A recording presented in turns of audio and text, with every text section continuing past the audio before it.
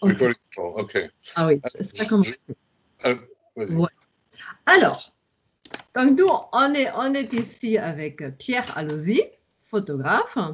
Et Pierre, tu as gentiment accepté de, de, de nous faire un entretien. Est-ce que, pour commencer, tu peux te présenter en, en quelques mots? Ben, je suis, euh, en fin de compte, Pierre Allozy. Je suis euh, moitié nigérien, moitié français.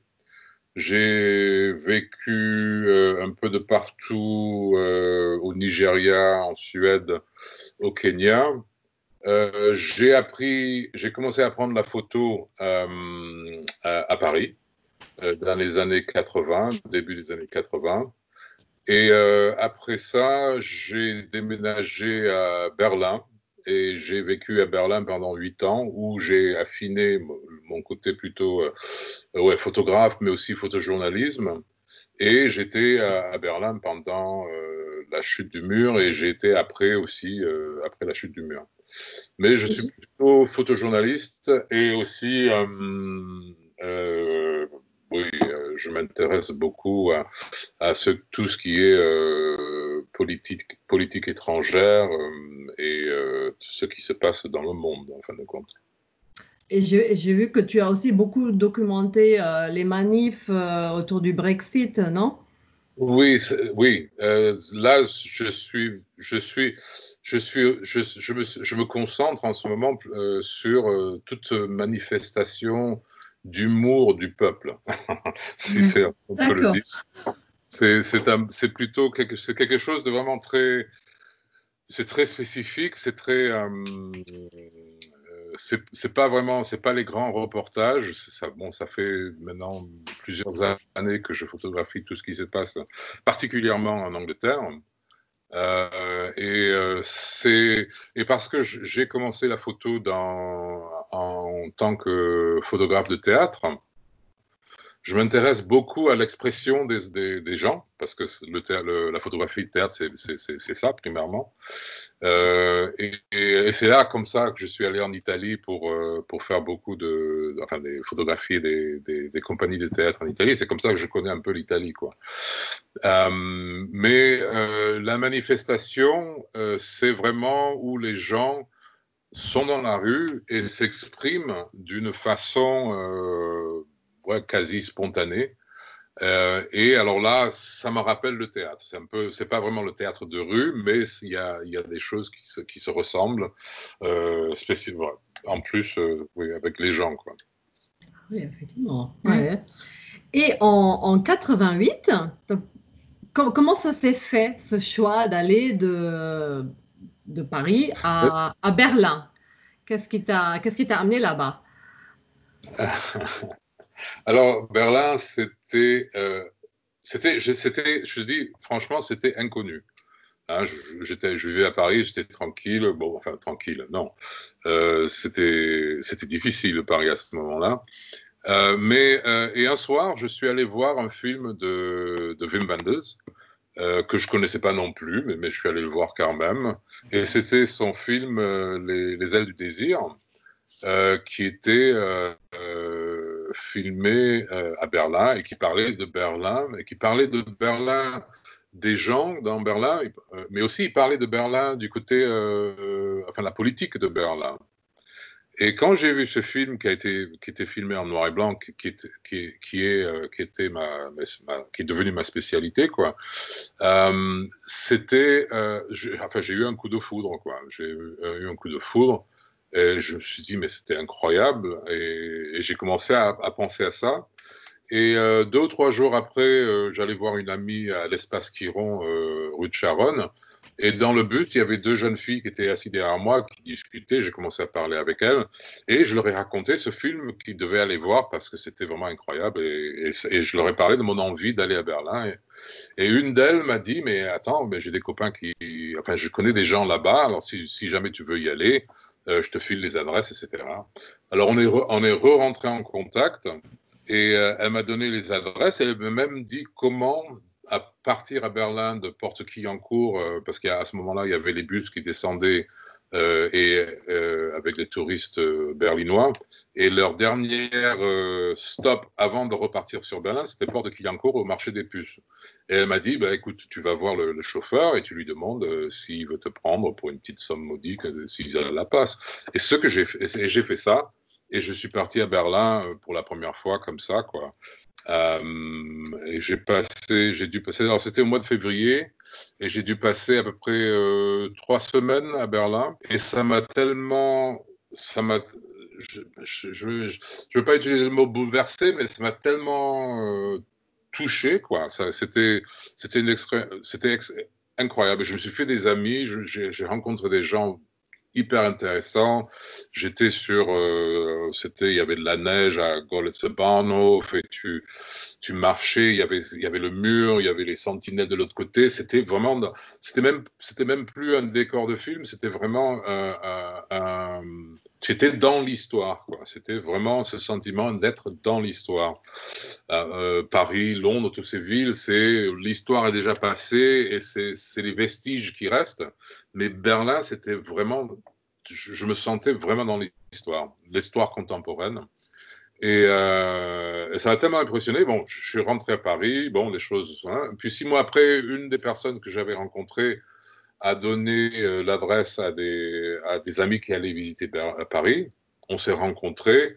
Et puis, euh, ouais, j'ai, ouais, je sais pas si je suis tombé amoureux, mais enfin bref, elle m'a demandé ouais, si, tu, si je voulais revenir visiter Berlin. Je lui ai dit, bien sûr, bien sûr, bien sûr. Et je suis remonté, je suis resté, quoi.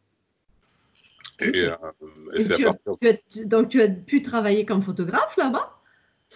Oui, oui, oui, oui. Euh, j'ai commencé, enfin, oui, j'ai commencé mon premier, mon, ma première publication euh, était avec des Tageszeitung et c'était euh, aussi des manifs. et c'est là où j'ai commencé vraiment à, rentrer dans le côté professionnel, journalisme, photojournalisme de, de la photo.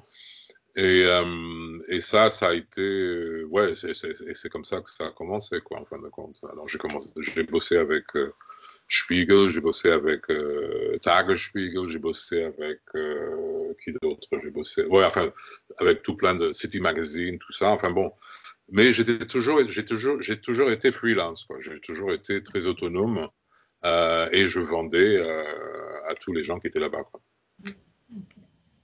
Et, tu te souviens quelles étaient les premières manifs que tu as pu euh, photographier à Berlin? Oui, c'était euh, une manif contre the euh, IMF, International Monetary Fund, and the World Bank. They were having a, ils avaient, ils avaient un, gros meeting à Berlin.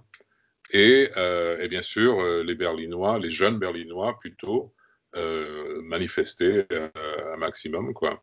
Et je me souviendrai toujours, il y avait un moment où euh, j'étais, on était dans un, ce qu'on appelle en anglais kettle, c'est où on est enfermé par la police, on ne peut pas sortir, on ne peut pas rentrer. Et c'était la première fois que ça m'est arrivé. Et, et, ça se resserrait, je faisais des photos, tout ça. Et puis après un moment, il y a une une dame qui, était dedans aussi avec moi et qui me dit euh, écoute, euh, si j'étais toi, je, tu, me, je te, tu, me, tu, me donnes tes films comme ça au cas où tu te fais arrêter, euh, ils te prennent, ils te confisquent pas les films. Et elle s'est introduite, elle s'est dit, elle a dit que c'était Jutta Ditford with the Green Party avec. alors elle était là. Alors moi je lui ai donné tous les films que j'avais et bon, au fur et à mesure, les gens étaient euh, arrêtés, tout ça. Bon, ils se sont arrêtés, ils ont rouvert après qu'ils ont. Euh, hein. et elle m'a rendu les films. Et c'est à partir de là où j'ai publié les premières photos euh, avec Tageszeitung. Et c'est comme ça que bon, ça a commencé avec Berlin, quoi. Ah oui, génial. Donc tu, tu as, tu as bien sûr vécu partie ouest, au, moins, au moins au début. Mais alors, est-ce que, est que tu as pu rencontrer déjà avant la chute du mur des, gens de l'Est? Est-ce qu'il y avait des contacts? Euh, J'avais pas eu. Non, je, suis allé plusieurs fois comme ça euh, en, tant que touriste, quoi. Enfin, en tant que touriste photographe. Mais euh, euh, étrangement, quelques mois avant la chute du mur, il y a eu une. Euh, j'étais avec euh, des, amis, un groupe d'amis, et puis une de ses amis, ses amis avaient la possibilité ou voulaient aider un jeune Est-Allemand, Est-Berlinois, sortir de, de Berlin. Et ça pouvait se faire qu'à travers le mariage. Alors, on est, on est allé sur, du côté Est euh, pour le rencontrer. Et puis on était, je crois, trois ou quatre euh, ensemble, tout ça. On s'est rencontrés, on est sortis ensemble un peu, tout ça. Et tout ça devait se passer, euh, alors, oui, dans, les, mois qui venaient. Et puis, bien sûr, la chute du mur s'est passée. Quoi. Ok, d'accord. Et quand tu allé là-bas, tu disais tu allais là-bas pour prendre des photos, mais est-ce qu'on t'a laissé prendre des photos tout à fait librement? Non, discrètement. Hein. Discrètement, ouais. Oui, discrètement. Discrètement, parce qu'on avait un visa, on, nous donnait un tampon sur le passeport, on avait 12 euh, heures, il fallait changer une somme euh, de 50 Deutschmarks pour passer, et il fallait re-rentrer dans Berlin-Est avant minuit. Et, euh, mais les 50 dollars, quand tu les changeais en Deutschmark Est, ça faisait une somme assez, euh, assez conséquente, quoi. Alors, euh, alors on pouvait. Euh, et puis en plus, les, restaurants, les, les, boissons, la bière, tout ça, c'était vraiment. Ça n'avait rien à voir avec les prix berlinois, ouest berlinois. Alors ça veut dire que bon, c'était un peu la fête aussi quand même. Hein. Et comment tu as ressenti ce, ce pays, les, gens à Berlin-Est? Euh, assez, euh, je dirais pas ouvert, mais, mais ils n'étaient pas fermés non plus. Quoi. Ils étaient, euh, en anglais, cautious. Ils étaient. prudents. Prudents, voilà. Oui, ils étaient prudents. Ils te parlaient comme ça facile, assez facilement. Mais bon, ils disaient pas grand-chose. quoi. C'était seulement des petits trucs à droite et à gauche. par contre, le, le, jeune. Que, attends, les jeunes qu'on était euh, avec euh, pour ce mariage, alors oui, oui c'était, c'était un peu dans la même euh, mouvance d'une certaine façon, un peu punk, un peu, un peu artiste, un peu, tu sais, alors bon, là, c'était, c'était, c'était cool, quoi. Mm-hmm. Oui, bien sûr. Hein. Mm-hmm. Et à ce moment-là, est-ce que tu as réfléchi? Enfin, est-ce que tu t'es dit un jour ces deux parties vont, euh, vont se réunir ou est-ce que c'était quelque chose qui te paraissait totalement euh, utopique? Non, il n'y avait aucune, aucune, aucune euh, non, il y avait aucune idée que ça allait se passer ça. Non, non, non. Ah, j'ai jamais eu, j'ai jamais pensé à non. Enfin, il y a longtemps de ça pour, pour te dire. Mais je pense pas que, que j'ai eu des pensées comme ça, quoi, en tant que ah ouais, il y aura un jour une réunification euh, Est-Ouest. Peut-être un fantasme, mais je pense pas, je pensais pas que ça se ferait actuellement. Mm-hmm. Et donc le jour, donc le, le grand soir où, où, où, on a vu que, que, que le mur tombait.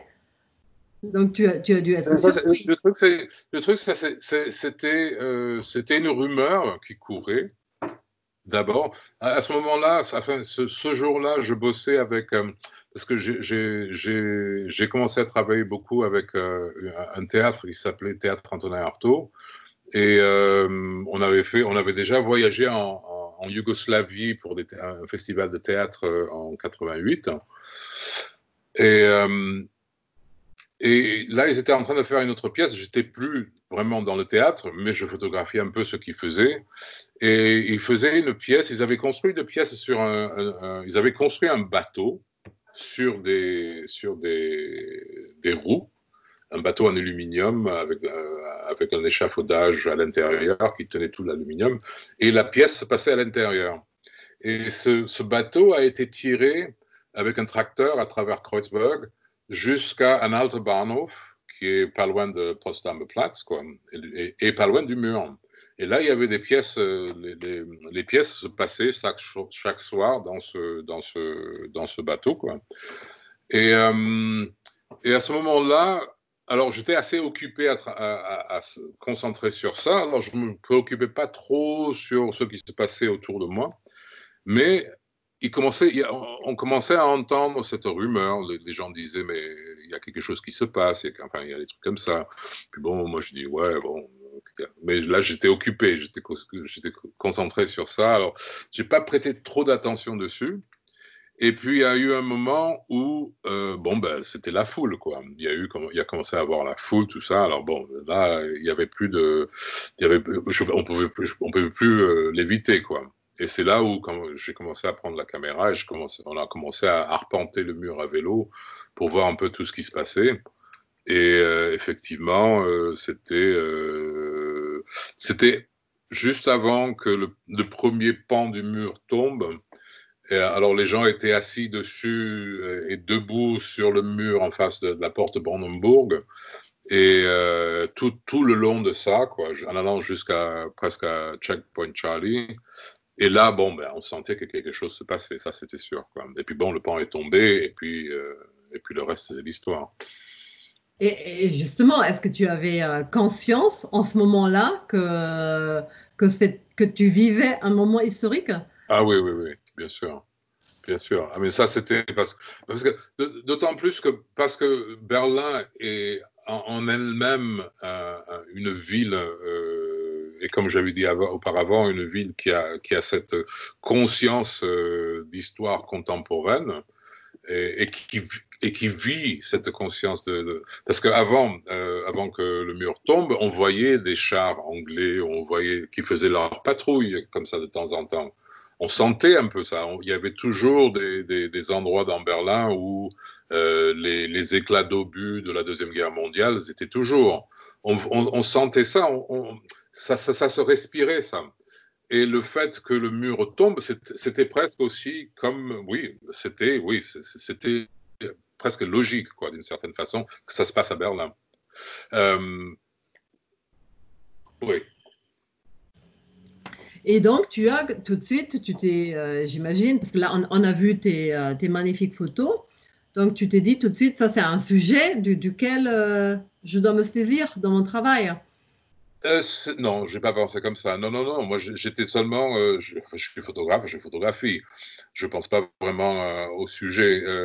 À, à, à, ce moment-là, je ne pense pas. Non, c'est ce qui se passe devant moi et j'essaie de le saisir. Quoi il n'y avait pas, il y avait pas une, une conceptualisation de, de, de, de l'événement qui se passait. Non, mm. non, tu, tu, tu, vis ça et puis euh, et tu réagis par rapport à ce qui se passe.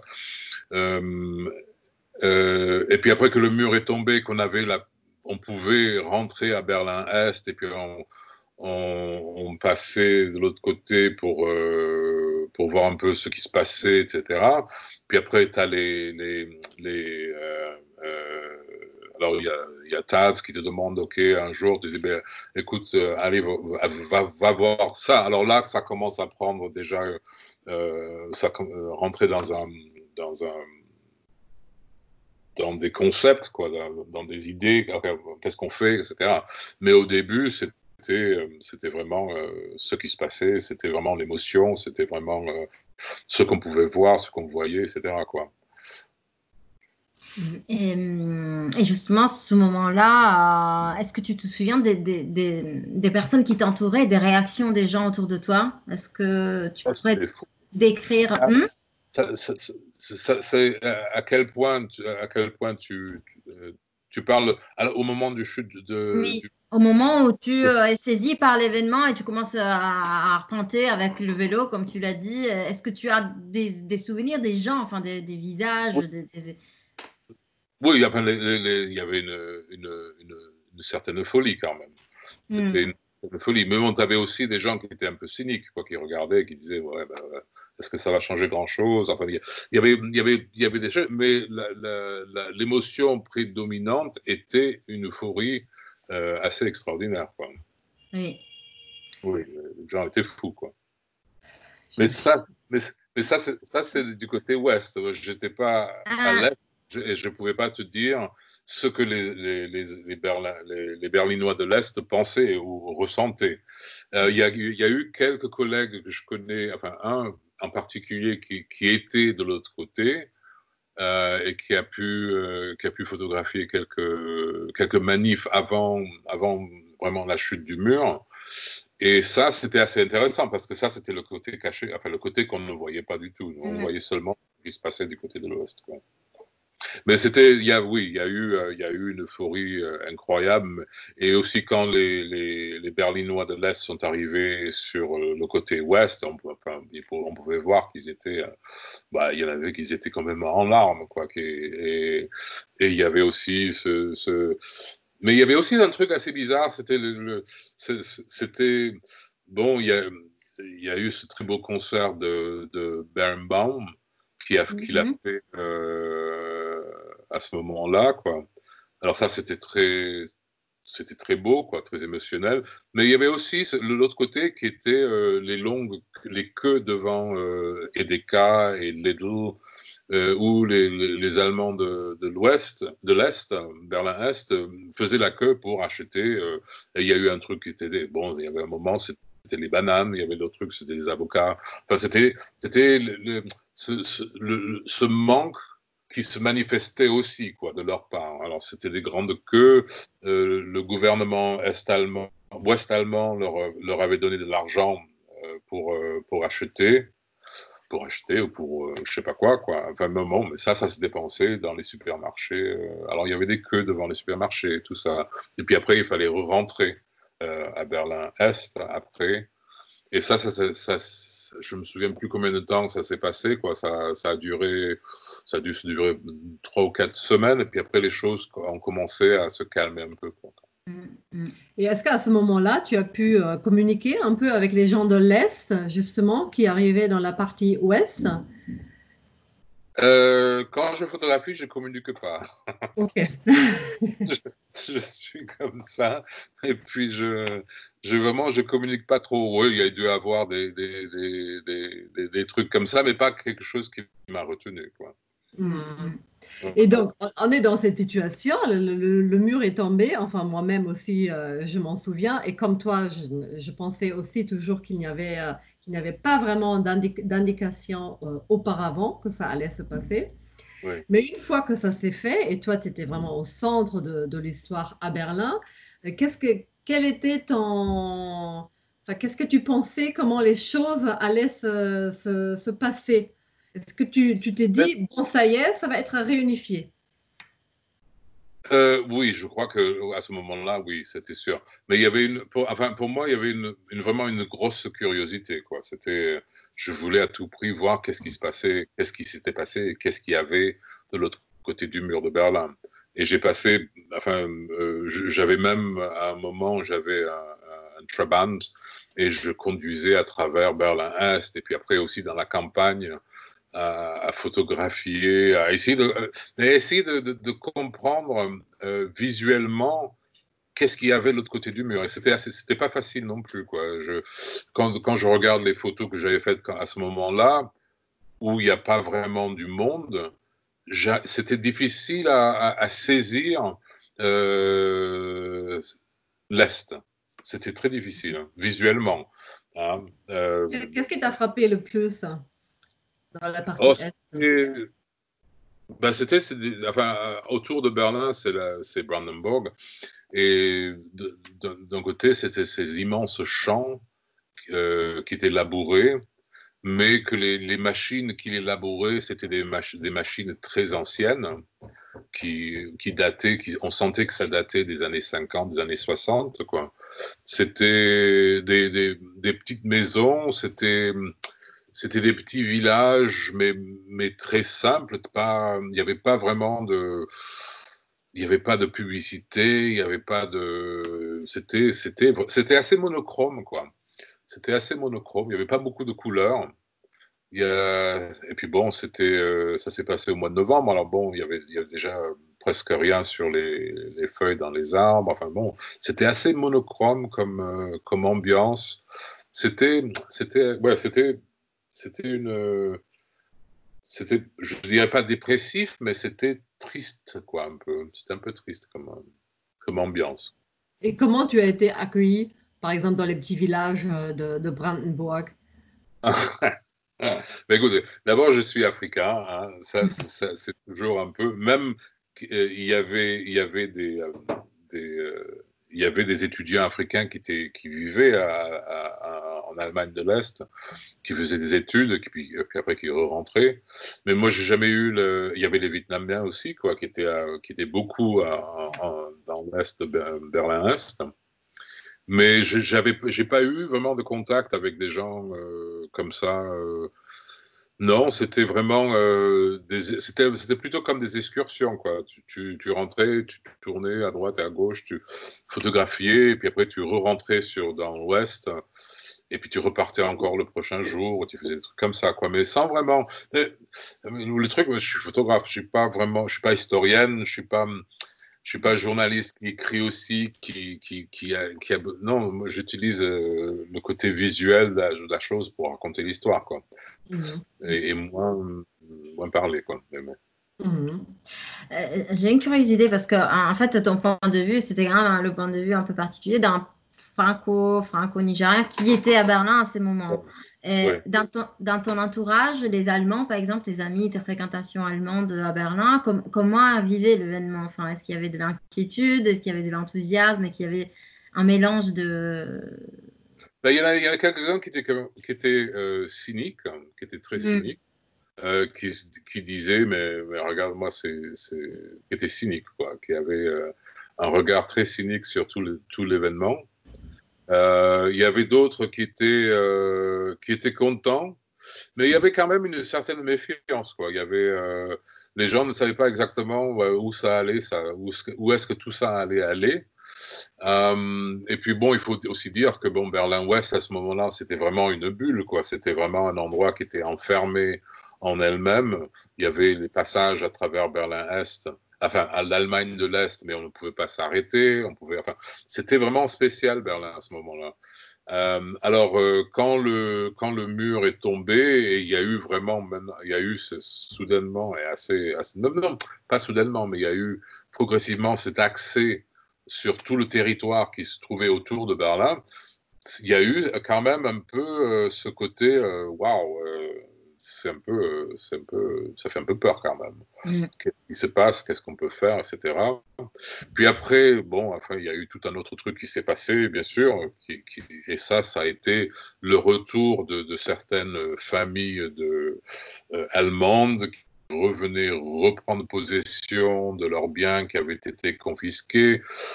Il y avait des, des il y avait, il y avait ça. Alors bon, il y a, ça, ça, a commencé à être difficile. Ça a commencé à être difficile. Et puis malheureusement, ce que j'ai vu et ce que je voyais, c'était euh, c'était vraiment une anxiété générale vis-à-vis euh, de, l'Ouest, des Berlin-Est. Parce que j'ai photographié aussi pas mal de théâtre à Berlin-Est à ce moment-là, des, des, corps de danse, des, des, des, petites boutiques, des trucs comme ça. Et eux se demandaient, mais qu'est-ce qui va se passer? On va se faire bouffer, quoi parce que maintenant il y, avait trois ou quatre, euh, gros théâtres à, Berlin-Est, il en avait cinq à Berlin-Ouest.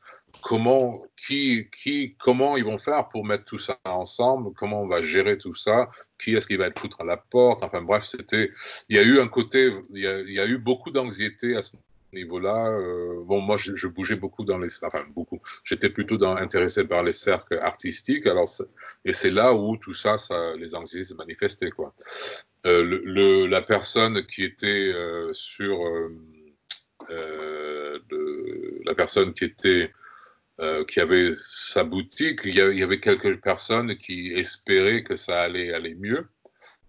Mais bon, c'était assez difficile quand même. Les gens, euh, ils avaient peur. Ils avaient peur parce que, bon, bah, les Allemands de l'Ouest, ils, ils avaient les sous, ils avaient euh, beaucoup d'argent, ils avaient le pouvoir. Enfin, bon, euh, c'était pas évident du tout, quoi, de, voir un peu ce qui allait se passer. Bon, personne vraiment ne savait.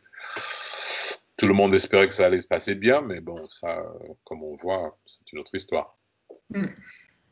Et concernant euh, l'organisation politique, est-ce que, est que tu avais le sentiment que les Allemands de l'Est avaient vraiment très envie d'intégrer à 100% le système ouest-allemand ou est-ce que tu avais l'impression qu'en fin de compte, euh, on commençait aussi à leur imposer quelque chose?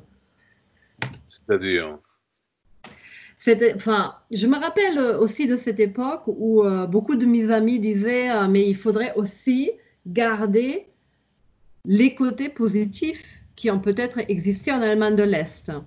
Hmm? Il ne faudrait pas que justement l'Allemagne de l'Est se fasse bouffer entièrement par l'Ouest, mais qu'on arrive à faire une espèce de fusion entre les deux. Est-ce que, tu, est-ce que tu, tu, avais entendu les mêmes euh, préoccupations à l'époque ou, euh, ou est-ce que les gens parlaient pas trop de ça?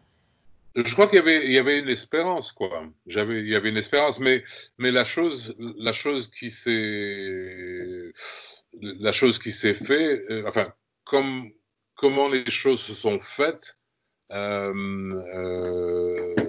s'est passé vraiment différemment, quoi. Ça s'est passé mhm. très différemment. Et euh, un, des premiers trucs qui, qui, a été, mais ça, ça a été un an ou un an et demi après, c'est quand ils ont commencé à fermer les centres de, de, jeunesse à Berlin-Est. Et ça, ça, ça a été vraiment, euh, ça a été, ça, c'est quelque chose qui m'a qui, était très dur, dans le sens où, enfin dur, dans le sens où maintenant les jeunes euh, de Berlin-Est n'avaient plus euh, d'endroit pour être ensemble. Parce que ça, c'était avant que le mur tombe, c'était l'endroit où ils étaient toujours ensemble c'est là où ils se, rencontraient, puis après, bon, ils faisaient des fêtes, ou ils faisaient des choses, mais les centres de jeunesse, enfin les centres, les, maisons de jeunesse, c'était vraiment leur, leur, leur, focus, quoi, leur point focal. Et quand ils ont commencé à, fermer ça, euh, y eu... Euh, bah, il y a eu beaucoup plus de jeunes qui étaient désœuvrés, qui marchaient un peu dans les rues, il y avait des trucs comme ça qui se passaient. Puis après, ça, ça allait, du côté où les, les groupes néo-nazis ont commencé à recruter ces jeunes qui se baladaient, qui n'avaient plus rien à faire. Et c'est là où il y a eu un engrenage euh, avec bon, le côté euh, euh, avec les néo-nazis à Berlin, pas seulement à Berlin-Est, mais aussi dans toute, dans toute l'Allemagne de l'Est. Quoi. Et c'est là aussi, et puis après, il y a eu commencé à avoir des, des meurtres, la chasse aux noirs, enfin, des, choses comme ça. Et je me souviens que j'avais euh, été commandé par euh, Tagazaitung d'aller photographier la veuve de Amadeus Antonio, qui était un, Africain qui vivait euh, à Berlin, pas à Berlin, près de Dresde. Euh, et il avait été battu à mort. Sa femme était toujours enceinte, qui était allemande. Euh, elle avait gardé le bébé. J'ai, photographié la mère et le bébé, mais, le père n'était plus là, quoi.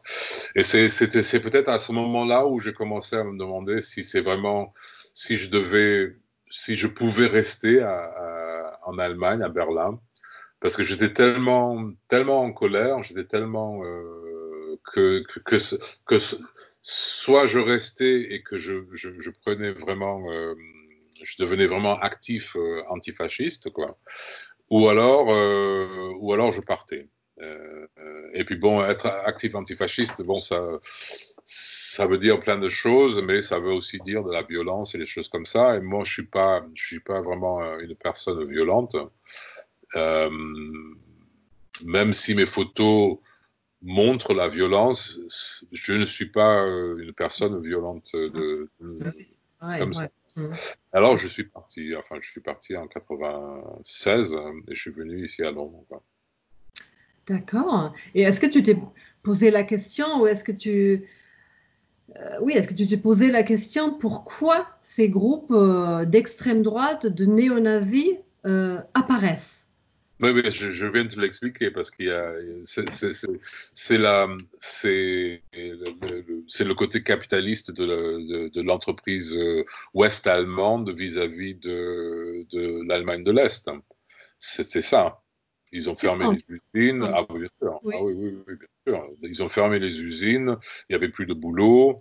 Euh, ils ont repris, ils ont racheté des usines euh, pour euh, la modique somme de 1 Deutschmark. Ils ont mis les gens. Enfin, non, ça a été horrible après un moment.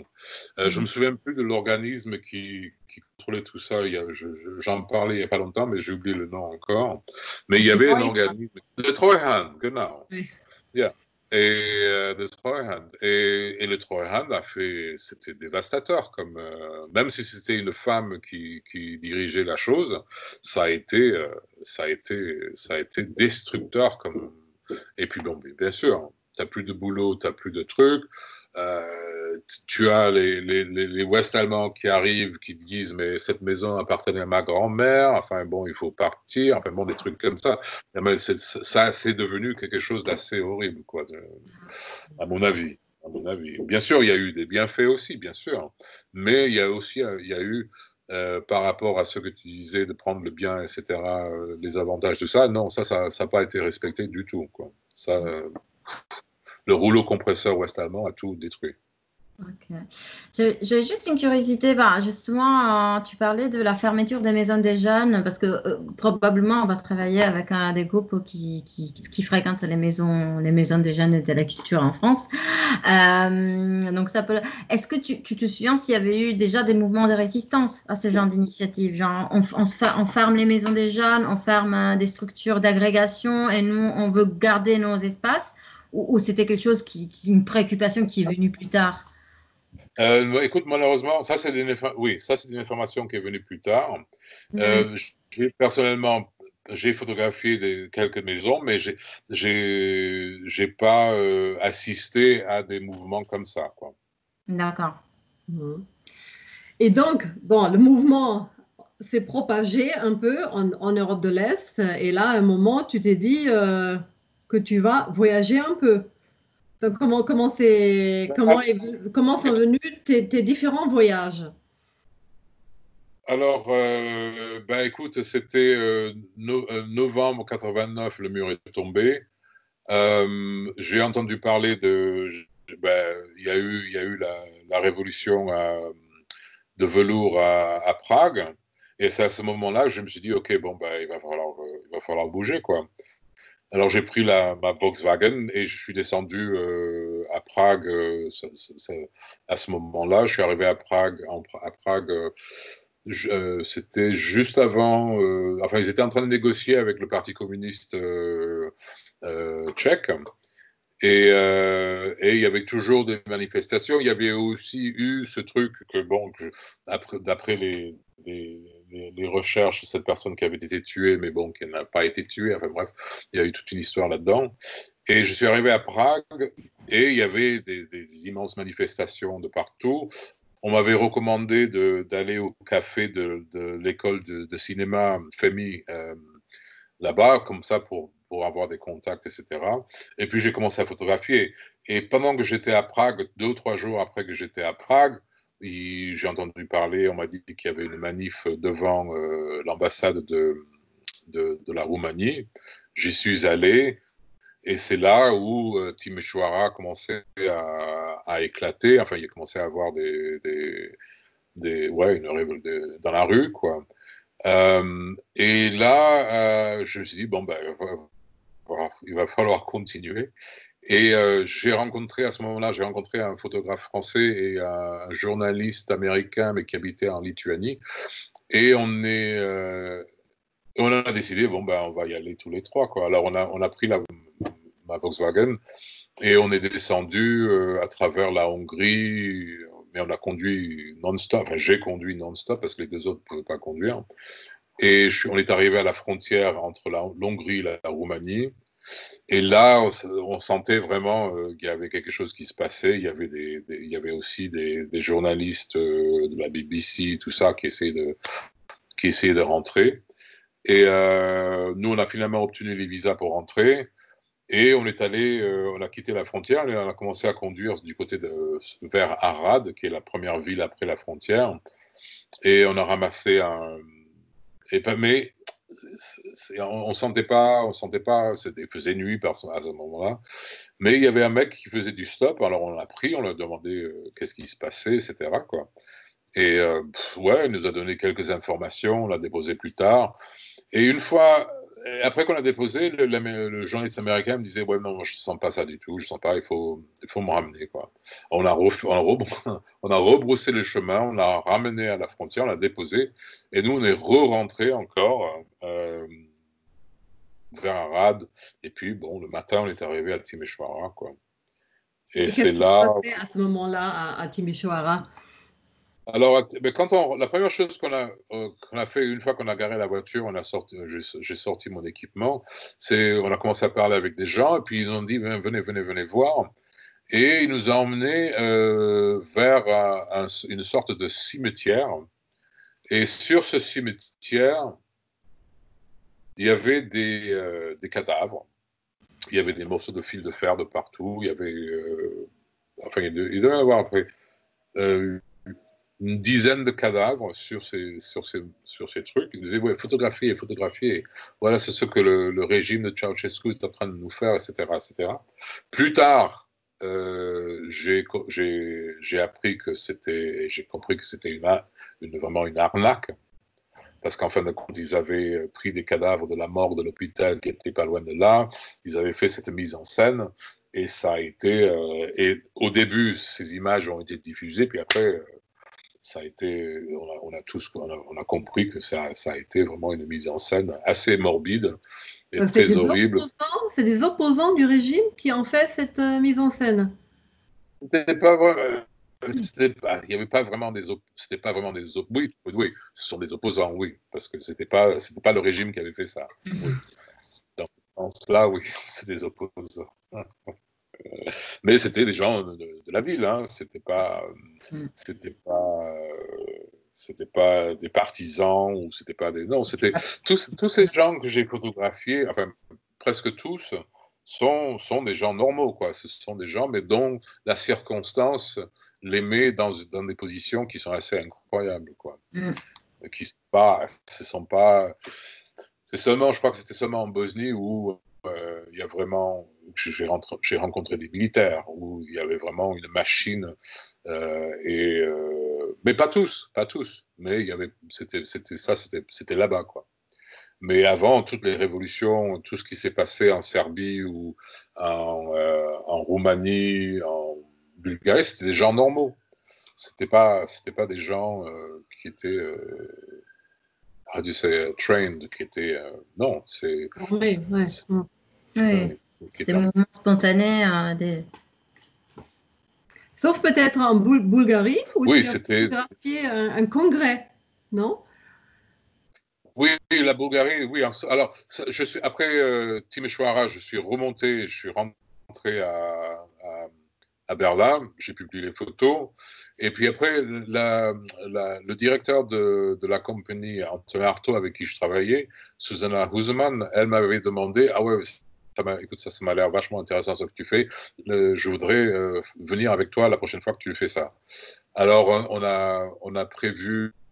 Alors, on est parti ensemble. Euh, cette fois-ci, on est descendu plutôt vers Belgrade. on a fait plutôt, oui, Belgrade, Kosovo, puis on a coupé à travers la Bulgarie, Sofia, et puis on est remonté sur Bucarest. Euh, et puis, alors, alors Bulgarie, oui, alors ça c'était sur le sur ce chemin-là, sur cette route-là. Et euh, euh, Bulgarie, c'était, oui, la fin du, du, régime communiste. le, les Democratic Forces, ils étaient en train de, de négocier avec, avec le gouvernement communiste. Et le congrès que j'ai photographié, euh, c'était le dernier congrès qu'ils ont eu. Quoi. Et après ça, ils ont changé de nom, et puis après, il y a eu les élections, euh, les, élections, euh, les élections quoi, Et comment tu as pu rentrer dans, dans ce congrès? Eh bien, À ce moment-là, j'avais des lettres de, de Tageszeitung, je crois. Oui, je pense que c'était Tageszeitung. J'avais des lettres en disant que je suis photographe, photojournaliste, on va voir. je ne me souviens plus si j'avais ma carte de presse à ce moment-là ou si c'était venu après. Enfin bref, euh, ou alors j'avais peut-être une carte de presse temporaire. Enfin, euh, j'étais allé, oui, j'étais allé au, ministère euh, d'information pour, pour, obtenir les permissions. Et puis après aussi, oui, une fois que j'avais les permissions, je pouvais rentrer n'importe où, quoi. Mais au début, c'était, c'était, j'avais, j'ai photographié d'abord euh, Crépa, qui était l'union, euh, le syndicat et les forces démocratiques. Je, les ai photographiés d'abord, et puis après, je crois que c'était un. Et à ce moment-là, il y avait le, congrès qui se passait. Alors je dis, bon, bah, il faut voir aussi, quoi. Et je suis allé photographier le congrès. Euh, c'était assez drôle parce qu'il y avait, c'était, ouais, enfin, c'était, euh, voilà. Enfin, je j'aime pas revenir à la couleur de ma peau, mais c'était quelque chose d'assez incongru quand même d'avoir un photographe euh, euh, mm. black qui rentre. J'avais un gros, euh, j'avais un gros manteau en cuir noir. C'est vraiment tout ça. Et puis bon, avec mes, appareils photo, tout ça, je me baladais comme ça. Mais je, je, suivais aucun protocole. Je, marchais devant, je photographiais, je, non, je, bougeais. Enfin bref, j'étais pas, j'avais pas ce, ce protocole. Enfin, et les autres photographes officiels, euh, qui me regardaient, me disaient Mais qu'est-ce qu'il fout celui-là? D'où il vient? Enfin, bref, Et j'ai eu ça un peu plusieurs fois, quoi, en tant que Mais, mais, mais, d'où il vient ce mec? Enfin, Qu'est-ce qu'il fait là quoi? Euh, en, à, Prague, c'était un peu ça aussi, quoi. Les gens étaient euh, assez, assez vraiment surpris, quoi. Mais bon, je, ouais, pas eu. Ah oui, si, par, contre, en rentrant la première fois de, la Roumanie, de Timișoara, euh, avec le photographe français, on s'est fait. Euh, il y a eu plein. Chaque village avait un, checkpoint. Chaque village. Alors, c'était les villageois qui filtraient euh, à chaque fois que tu passais. Alors, on, passait plusieurs, on disait, ouais, journaliste, tout ça, etc. Et puis, je crois que c'était le troisième ou le quatrième. tout le monde faisait le signe de ça, P. Alors, euh, il faisait ça quand on, arrivait sur le checkpoint assez lentement. Alors, moi, j'ai pris, ça comme, ouais, vous pouvez passer, quoi. Alors, je vais commencer, puis j'ai entendu derrière, en train, les gens entendaient crier, crier, crier. Alors, je me suis arrêté. Et bien sûr, alors ils sont rentrés avec les fusils, paf, ils nous ont tapé, tout ça, ils nous ont sorti de la voiture. Euh, alors là, il y a eu un moment assez, euh, je dirais, craignos, quoi. Mm. Très craignos, parce que ah, c'était, il y avait, c'était un peu, c'était un peu dans un, c'était un peu comme dans un film, quoi, parce qu'il y avait deux immenses bûchers qui, étaient de chaque côté de la route, enfin, et euh, barbelés, morceaux de bois devant la route, etc. Nous, on était dehors. Moi, j'avais le sang qui coulait ma, dans la tête sur mon cou. Euh, on ne pouvait pas prendre nos appareils photo. Ils nous ont pris dans un petit chemin euh, au bas de la route. Et moi, je dis, OK, bon, ça y est, quoi. ils vont nous tirer dans, les, trucs. Puis ils nous ont emmenés, euh, ben, ils nous ont emmenés dans le village. Et dans le village, c'était, ils nous emmenés dans l'école. Et dans l'école, il y avait tout plein de, tout plein de villageois. Il y avait bien sûr, il y avait un chef, il y avait un mec, on dirait, on dirait que c'était le maire, enfin le maire du village. Et, euh, personne parlait anglais, personne parlait français, personne parlait allemand. Euh, et, moi, j'essayais de, m'expliquer. Je disais, ouais, on est des photographes, on arrive de Berlin, rien à faire. Personne bougeait. Les gens nous regardaient. C'était, ouais, je dis, waouh, ça, c'est pas ça, ça, ça, ça, va pas bien se terminer, quoi. Et, sur le côté de la porte, il y avait, je sais pas si c'était le prêtre, enfin, il était en, en truc noir un long truc noir. Il avait un peu la tête de. Alors, ça, c'est, peut-être c'est mon imagination, mais il avait un peu la tête de Rasputin, c'est les longs cheveux noirs comme ça. Et, euh, et il s'est avancé sur. et il s'est avancé sur moi. Et il a pris son, son, son truc et il a commencé à laver le sang de, de, de ma nuque et tout ça, quoi. En train de, hein. Et dès qu'il a fait ça, la tension s'est quand même relâchée. Et, euh, et euh, lui parlait un petit peu de. Je me souviens plus, c'était un petit peu d'allemand. Ouais, un petit peu d'allemand, tout ça. Alors, il a commencé à. là, c'est là où il y a eu un dialogue qui a commencé euh, à se faire. Et puis bon, c'est après, c'était, ça s'est très bien passé. On a eu du thé, tout ça. Ils nous ont donné des gros morceaux de, de lard pour nos. Pour nos... c'était avec le couteau, tu prenais comme ça et puis tu, et tu mets ça et ça fondait dans ta bouche. Bon, j'avais jamais mangé ça de ma vie, mais bon, bah, mais bon, ça, et, les choses sont vraiment décontractées. Ils nous ont même donné un mec euh, du village pour être avec nous dans la voiture pour les, checkpoints successifs et nous ont emmenés jusqu'à Arad. Euh, et bon, après ça, il n'y a pas eu de problème du tout, quoi. Puis on est rentré euh, à Berlin. je ne sais pas pourquoi je dis ça. Mais qu'est-ce qu'ils ont dû penser au début alors? Pourquoi ils étaient euh, tellement ben, hostiles? Alors le truc, le problème avec la Roumanie, c'est que personne savait qui était qui. Parce que bien sûr, euh, comme vous, vous savez, euh, la sécurité était vraiment de partout. Quoi. Et il y avait vraiment cette peur, et personne ne savait qui qui était l'ennemi, qui faisait, qui était pour Ceausescu, qui était contre Ceausescu. Il y avait vraiment une paranoïa extrême. Et euh, quand on était à, à, il y avait aussi ces, moments où ils attrapaient des gens et disaient ouais ça c'est sécurité et ça c'est sécurité quoi. Et ils l'embarquaient je sais pas où. Euh, et il y avait aussi des, snipers qui tiraient. Alors il y avait une il y avait vraiment une paranoïa quoi, assez extrême. Quoi. Et alors les villageois, je, je, conçois que chaque village avait disait, OK, bon, ben, hey, euh, on laisse, euh, faut faire gaffe qui va rentrer, qui va sortir, etc. Quoi, parce qu'on ne sait pas qui est l'ennemi, là, jusqu'à que Ceausescu soit tué, quoi, exécuté. c'est ça. Et donc tu as vu quand même, donc tu, tu, tu bougeais dans cette Europe de l'Est, et tout ce système, euh, comme des pièces de domino, ça, ça tombait. Est-ce que tu as vu des, justement des, grandes différences entre les différents mouvements, entre les différents pays? Tu disais que la Roumanie, ça avait l'air d'être particulièrement dur. Euh, j'imagine, hein, par rapport à la République tchèque, à, l'Allemagne de l'Est. Oui, mais la République tchèque, c'était vraiment un mouvement. Euh, euh, on sent vraiment que Václav Havel avait, avait une aura dans ce qui s'est passé en, la République tchèque. Euh, il y a eu au début, mais ça, j'étais même pas encore arrivé, il y a eu des manifestations, il y a eu au début des conflits avec euh, l'armée, etc., quoi, avec les milices.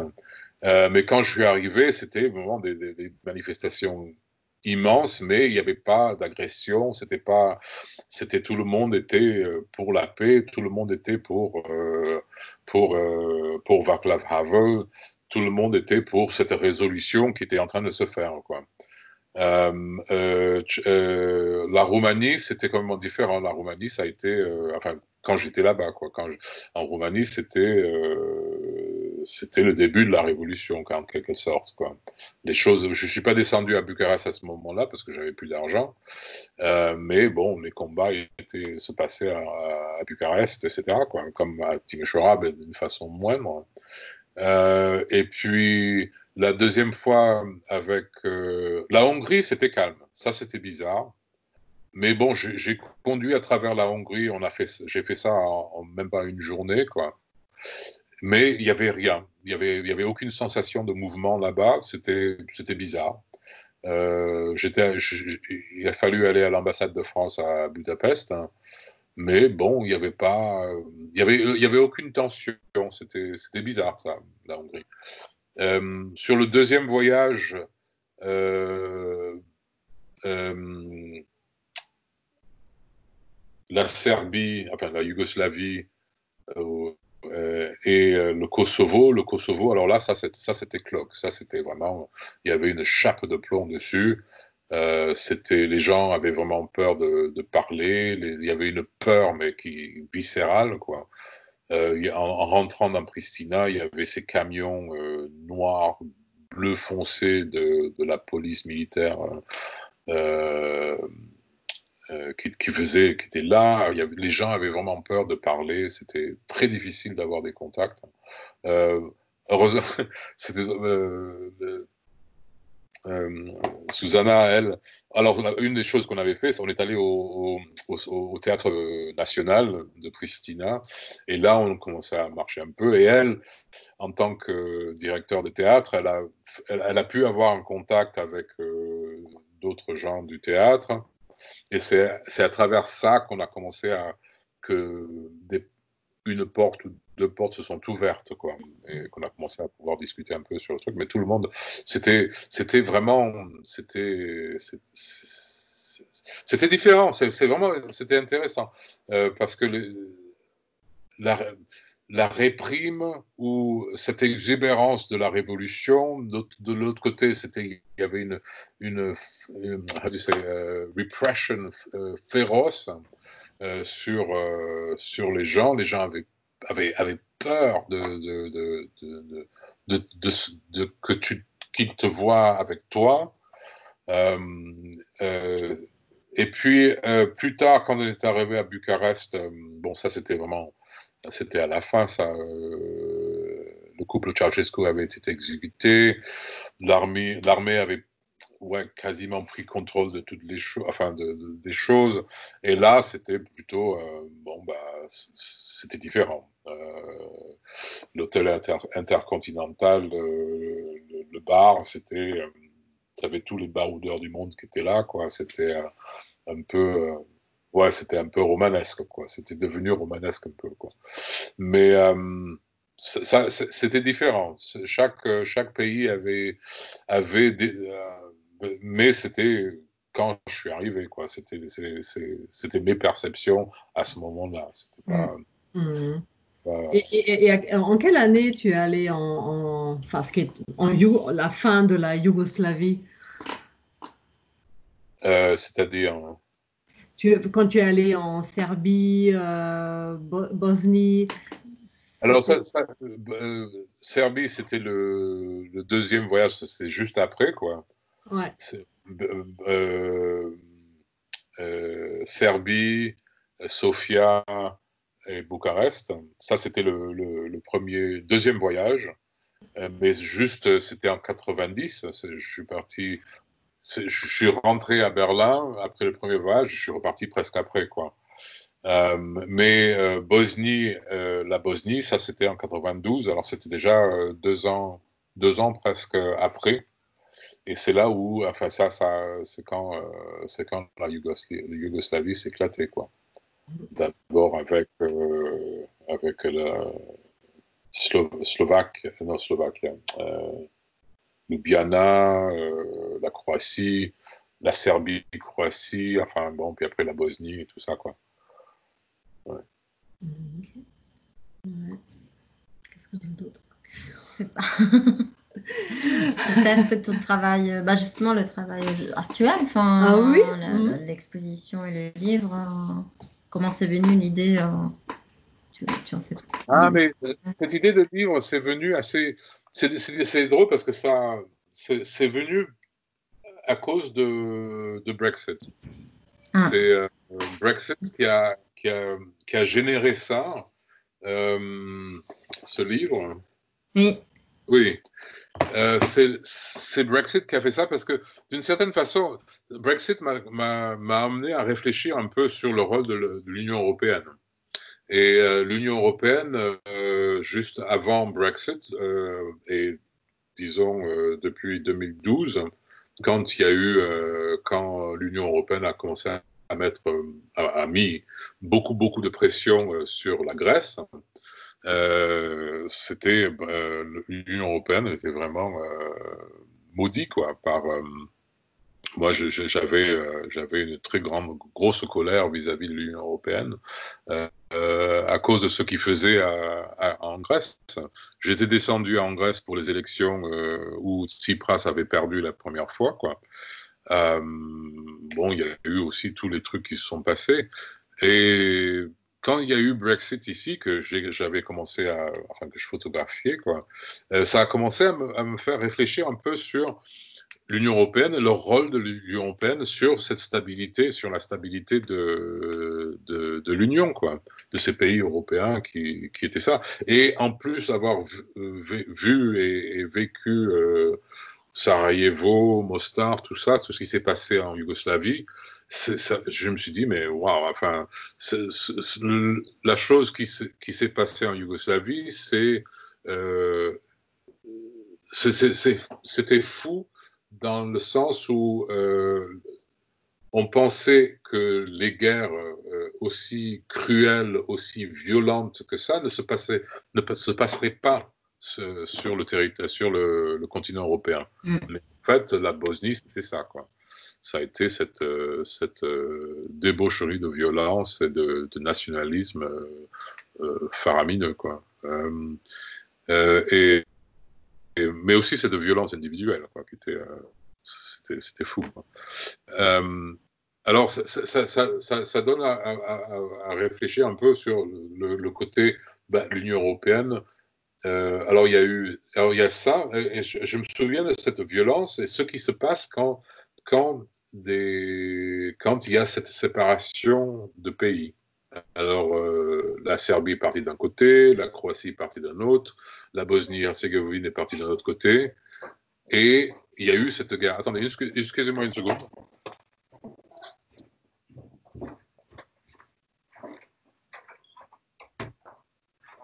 Et euh, ce, que ça, ce que ça, ce que, ce que ça m'a fait penser, c'est si euh, avec Brexit il y a cet effet domino où les autres pays se commencent à se dire, bah écoute, nous on va se, on va prendre le large aussi, etc. Ce que j'ai vu en Bosnie et en, Yougoslavie, je me suis dit, mais ça, ça, ça, c'était un exemple de ce qui se passait quand l'union se cassait, quoi. Mm. Euh, et, sur un, sur un, plan plus euh, européen, c'était aussi quand l'Union soviétique s'est cassée. Euh, il y, a eu, y, a eu la Géorgie, il y a eu toutes les autres les révolutions qui sont, passées. Il y a eu le Haut-Karabakh, il y a eu la Tchétchénie, enfin Abkhazia, il y a tout ça. Enfin, il y a, y eu tous ces conflits à base de territoire, primairement, primarily, mais ça a été, c'était ça. Et, moi, je me suis dit, mais si. Euh, et ça, ça m'a. Et c'est comme ça que je suis arrivé à ce livre. En, me disant, mais euh, attention, euh, si vous voulez la dissolution de l'Union européenne, ben, écoutez, vous pouvez, vous pouvez vraiment vous attendre à des conflits territoriaux, à des conflits nationalistes. ça, et ça, je parle de mon expérience, de ce que j'ai, ce que j'ai vu euh, sur le terrain euh, à la chute du mur, quoi. Mmh. Mmh. vrai.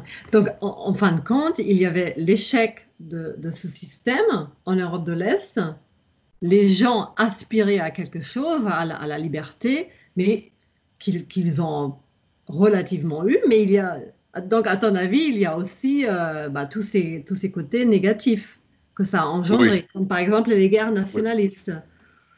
Oui, oui, oui, oui, absolument. Absolument. Alors c'est ça le truc. Enfin, euh, euh, quand j'ai fait, quand à l'ouverture de l'exposition euh, à Europe House à Londres au mois de novembre dernier, la, la, directrice du Goethe Institute a commenté, et même aussi la représentante de, de l'Union européenne à, à, Londres, ont commenté sur ces photos la façon que je les avais arrangées en disant mais c'est c'est pas cette il, ne montre pas enfin, je ne montre pas les images euh, de, d'euphorie de, ce qui s'est passé après la chute du mur et de la chute du mur, mais plutôt euh, le côté, euh, le côté, ouais, le côté qui, Sombre peut-être. Sombre, voilà, ça c'est le bon mot, mm. ça. Exactement. De ça. Et, euh, et ils ont, ils ont, et c'est ce qui, ce qui m'a, ce qui m'avait vraiment euh, impressionné, c'est qu'ils avaient compris exactement ce que je voulais dire. Et dans leur speech, ils ont parlé de ça. Ils n'ont pas fait le speech, ah ouais, c'était incroyable. Non, ils ont, ils ont vraiment pris sur ça et ils ont, et ils ont rattaché ça aussi à Brexit en se disant que vraiment l'Union européenne, ce que nous avons de l'Union européenne, c'est aussi une protection, même s'il y a toutes ces imperfections qui existent dans l'Union européenne, euh, mais c'est aussi une protection contre tous ces conflits qui, euh, qui ont existé sur le territoire européen pendant, pendant des siècles. Quoi. Mm, mm. Et ça, c'était, très intéressant, mais c'était aussi c'était ce que je voulais montrer aussi. Quoi. Mm, et aujourd'hui, bah, un peu partout dans le monde, mais euh, disons en, en, France, on, a eu, on, enfin, on est aussi dans un moment où il y a pas mal de manifestations. On a eu le mouvement des Gilets jaunes. On, a, on a en ce moment, on a des, des manifestations. On des a, grèves, deux mois de grève générale. Les grèves. les grèves le mouvement Black Lives Matter qui, qui, est aussi maintenant établi ici en France. Est-ce que tu vois des, des similitudes entre tous ces mouvements du, peuple? Euh, Oui, dans, le sens où on peut dire que c'est une réaction contre un système qui ne fonctionne plus pour eux. Quoi. Euh, les mouvements euh, qui ont commencé en Allemagne de l'Est et en Hongrie, euh, c'était une réaction contre le système communiste qui ne fonctionnait plus, qui ne fonctionnait plus pour eux. Nous, maintenant, ici, c'est une réaction contre le système capitaliste et le, système financier qui ne fonctionne plus pour nous. et ça, c'est c'est ça, c'est la similitude, oui, bien sûr. Mais bien sûr, euh, le système contre qui nous nous battons est beaucoup, beaucoup, beaucoup, beaucoup plus euh, puissant et beaucoup plus. Euh, c'est, Enraciné. ah oui, oui, exactement. Vous êtes beaucoup, beaucoup plus enraciné que, que le communisme a été, quoi. Alors, euh, cette lutte-là est, avec Black Lives Matter contre le, la, suprématie blanche, euh, contre le racisme, contre euh, tout, ce qui a, tout ce qui est comme ça, oui, bien sûr. Mm-hmm. C'est similaire, oui. C'est un, un ras-le-bol pas possible, quoi. est-ce que, tu, est que tu as observé un peu ces mouvements en France ou est-ce que peut-être tu as des échos de ta famille ou de tes amis en France? J'étais au premier, euh, j'étais au premier, euh, la première manif Gilets jaunes sur les Champs-Élysées. Euh, j'étais aussi à Toulouse pour une manif contre la loi du travail qui, a qui a dégénéré. Quoi. Mm. mais bon, les choses se font vraiment différemment en, Angleterre, en France qu'en Angleterre. Enfin bref, chaque pays a son, son modus operandi. Hein. Euh, mais oui, oui, oui, bien sûr. Oui, oui. Ça, ça, c'est ça fait partie de mon travail, ça, maintenant. Bon, malheureusement, je ne peux pas me déplacer chaque fois que je veux pour euh, couvrir toutes les manifs qui se passent en Europe, mais ou au Liban, ou au Chili, ou à Hong Kong. Euh, mais c'est vraiment, c'est des choses que, oui, c'est des choses que je suis vraiment très conscient. Mm-hmm. Juste pour revenir à, bah, à, ton, travail, donc le livre et l'exposition, est-ce qu'il y a une diffusion justement européenne de ce travail? Il y a une circulation de, cette exposition, une itinérance européenne qui est prévue? Euh, Pas encore, euh, je n'ai pas encore bossé là-dessus, quoi. Euh, pour vous dire la vérité, vous êtes le premier, la première ouverture, disons, que je, qui est en train de se faire. Euh, j'espère que oui, hein, mais bon, j'étais tellement euh, occupé avec, euh, avec ça, enfin, avec ce qui se passait ici. Et puis après, ça a été un peu plus le, côté. Attends, excusez-moi. qui a été. et puis après, il y a eu le, virus, comme vous mm. dites. Hein.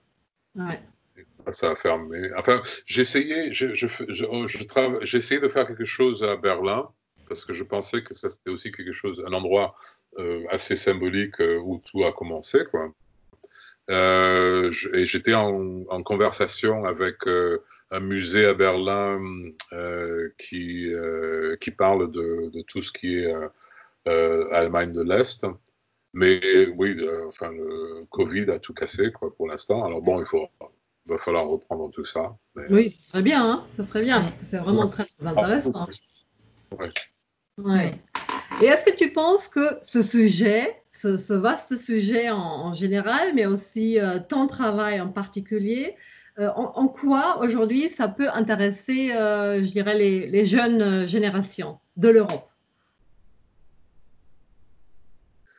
Ben, écoute, moi je crois que pour euh, particulièrement pour euh, euh, spécifiquement pour le travail Europe in Flux, Europe en, mouvement, je crois que c'est quelque chose, c'est un document d'une partie de l'histoire européenne contemporaine qui est qui est, je trouve, assez importante pour pouvoir comprendre ce qui se passe maintenant et aussi pour peut-être, je ne sais pas, mais pour aussi avoir une vision à long terme sur ce qui pourrait se passer.